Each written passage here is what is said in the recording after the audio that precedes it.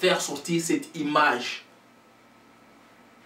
de brisement pour ramener l'image d'Abraham, l'image de l'identité qui, est sur, qui était sur Abraham le Père, l'image de l'identité qui était sur Adam, qui est une image que Dieu a mis sur son enfant, que Dieu a mis sur, sur, sur, sa création, que Dieu a mis sur tous ceux qui croient.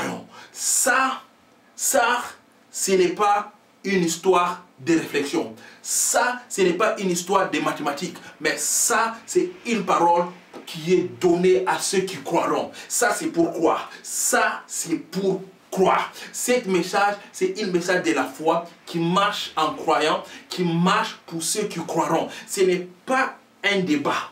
Ça, ce n'est pas un message de débat. Ça, ce n'est pas un message de concurrence. Que celui-ci se met aujourd'hui et parle, celui-ci se met aujourd'hui et parle. Non, il y a beaucoup de travail à faire sur la terre. Il y a beaucoup de choses à faire sur la terre parce qu'on n'a pas fait ce qu'on a été obligé de faire. Ce que le Seigneur voulait que les gens puissent faire n'a pas encore été fait. On est resté sur la terre plus de 200 ans depuis que le Seigneur Jésus-Christ est parti, depuis qu'il nous a donné la victoire, depuis qu'il nous a donné la dominion, plus de 200 ans, rien est encore fait. Et la fin n'est pas encore arrivée parce que cette parole n'est pas encore arrivée aux extrémités de la terre.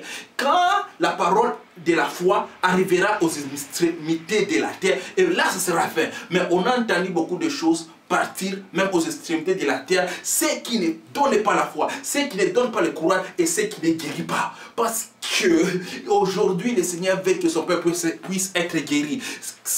Le Seigneur veut que son peuple puisse être béni. C'est pourquoi il a béni Abraham. C'est pourquoi il a béni, il a béni Isaac. C'est pourquoi il a béni Israël.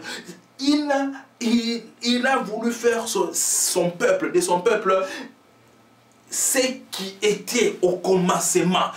Une place, une maison où il n'y a pas de maladie, une maison où il n'y a pas de mort, une maison où il n'y a pas de pauvreté, une maison où il n'y a pas de ténèbres. La lumière du Christ, la lumière de la parole, la lumière de la force de Dieu. Voilà ce que le Seigneur est venu donner. Voilà, il a dit, quand on lit dans les livres de Luc,